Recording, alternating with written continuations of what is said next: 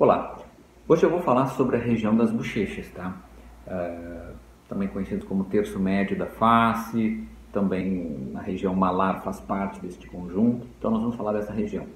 Toda avaliação do rosto tá? uh, vai depender, obviamente, da, da idade, da faixa etária da pessoa, tá? Então, assim, existem mulheres que chegam no consultório, jovens, uh, não tem algum problema maior, não tem flacidez, não tem excesso de volume nas bochechas, mas depois de uma avaliação sobre o todo da face, sobre a harmonia da face, a gente detecta que uh, aquela face precisa de um pouquinho mais de projeção na região malar. Isso é uma, uma, avaliação muito comum. Tem algumas pessoas que não têm essa região bem desenvolvida, não tem destaque nessa região e fica muito bonito. A gente faz um pequeno preenchimento nesta região e a gente vai ver que essa região ganha um destaque muito bonito. Entra em harmonia às vezes com o nariz, com a mandíbula, com o queixo, com todo da face. Depois, outro tipo de situação bem clássico, tá? Bochecha pesada, com flacidez. É muito comum. Então a pessoa às vezes que o tempo foi passando, a bochecha naturalmente vai ficando mais flácida, vai ficando mais pesada. Algumas pessoas tinham um volume de bochecha grande na juventude, ela pesou depois, tá? Então, assim, nas pacientes onde a gente detecta que existe flacidez dos tecidos da face, flacidez de pele, de musculatura, que às vezes andam juntas, tá?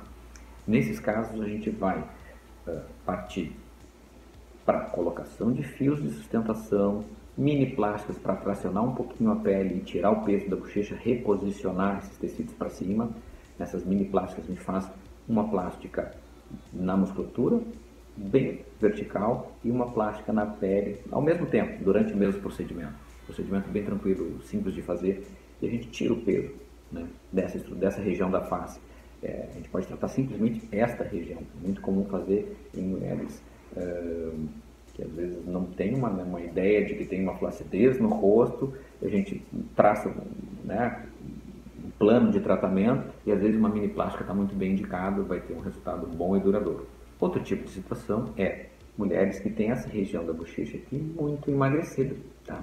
Mulheres que perderam muito peso, que por questões de hereditariedade, de genética, tem essa região um pouquinho afundada, bochecha vazia, uh, a gente vai fazer um preenchimento dessa região mesmo. Aí não só da região malar, mas da região desse triângulo aqui, assim.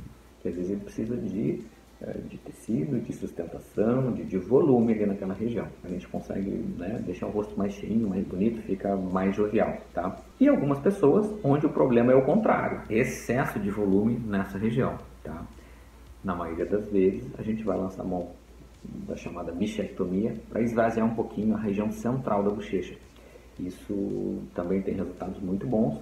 A gente pode associar, em alguns casos, preenchimento malar, preenchimento da mandíbula com a bichectomia. A gente vai conseguir também um rosto né, muito mais marcante, de mais personalidade. Então, essa é uma, uma, uma combinação que pode ser feita também. Tudo isso, obviamente, vai depender da avaliação. Uh, esse vídeo é só para lançar uma curiosidade e, uh, e passar a noção de que depois de uma avaliação, a gente vai escolher qual é o melhor tratamento.